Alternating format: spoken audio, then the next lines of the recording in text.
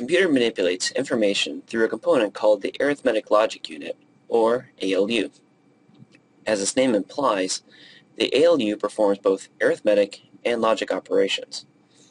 In this lecture, we discuss how we use multiplexers to select what operation the ALU outputs. The ALU operates by receiving data from the registers, and the control bits indicate what operation to perform on this information. The results of the selected operation is sent back to the registers. Suppose now that we want to implement an ALU that receives three control bits and execute eight operations.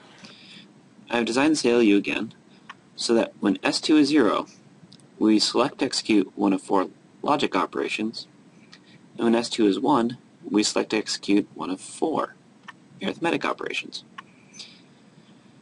Based on the general specifications of this ALU, it will be simpler to create separate logic units and the arithmetic units. We will then design a circuit that will select the correct output based on S2. The details of the selection circuit are described in the multiplexer lecture.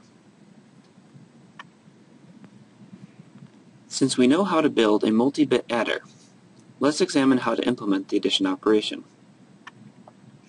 As you might expect, we can allocate the input bits from the register according to their relative weights, just like a normal addition operation.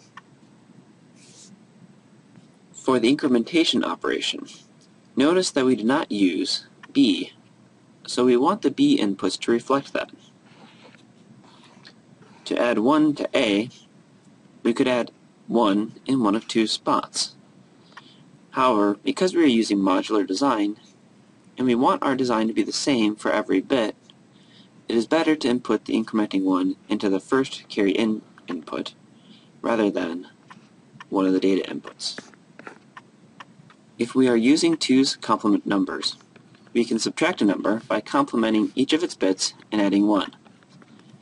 To implement subtraction with the full adders, we would complement the b bits and add 1 through the carry-in input.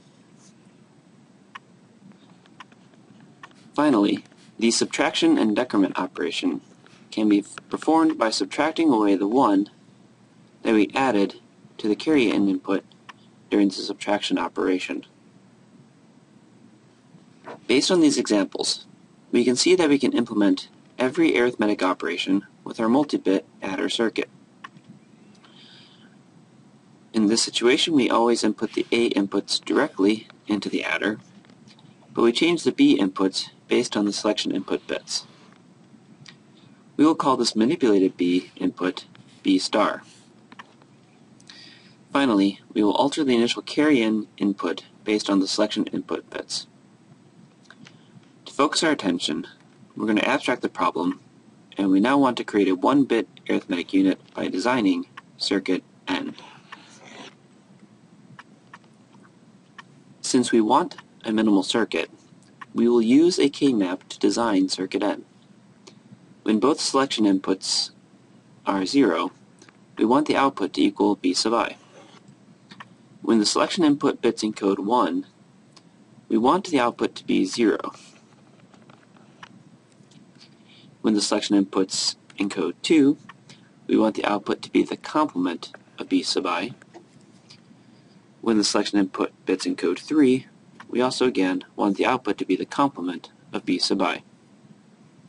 By using the k-map, we find our minimal expression for the output. Now that we have designed circuit N, we need to design the initial carry-in input C0. Again, we want to find a minimal solution for C0, so we will use a k-map.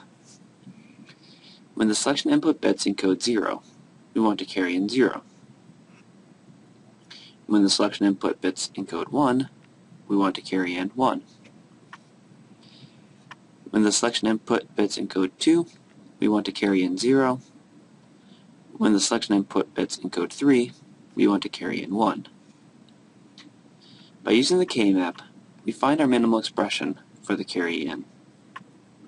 Now that we have designed circuit N and our carry-in, we can abstract these circuits to create our 1-bit arithmetic units we can once again abstract from this set of 1-bit arithmetic units to create our multi-bit arithmetic unit that creates a portion of our ALU.